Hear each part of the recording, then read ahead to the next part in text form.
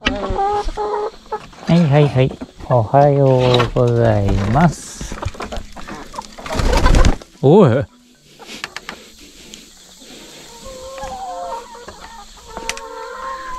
はははははああ今日は今日二つ卵産んでるココラコライフこの早朝に偉いぞおおみんなみんな偉いぞ。卵産んだ子誰かな？次の子誰かな？おいで。おいで。はーい。卵産んだね。偉いよ。偉い。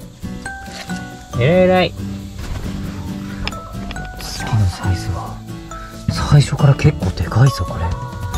ミドルスモールサイズ超えてるぞこれ。一番体が大きいのはイタドリだからイタドリのものかもしれないな。まだ暖かい。あこっちは冷たいな。こっちはかなり早めに産んだんだ。あいつ産むの早いのすごいな。いい感じじゃないか。素晴らしい。ありがたくもらっておくよ。いやすごいな。ウイザンでこのサイズってあいつ結構すごいな。すっごいぞ。やりよる。やりよるなぁいや比べてみてもマジででっかいもんな。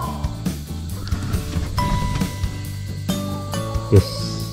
一番でかい子が産んだから産んだと仮定して虎取卵としようか。うん。でも21から23番。虎取杉名スズランの体重もうだいぶ同じぐらいになってんじゃねえかな。成長早いな今回は。まあなんか今年は外に出して草とかを食べさせられたのとあと米ぬかの配合をちょっと多めにして育てているんですよね2年前よりもね。いろんな条件が重なって大きく育ったのかな。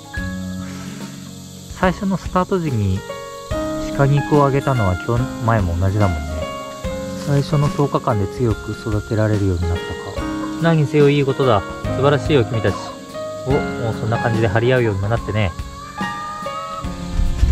いやー。嬉しいね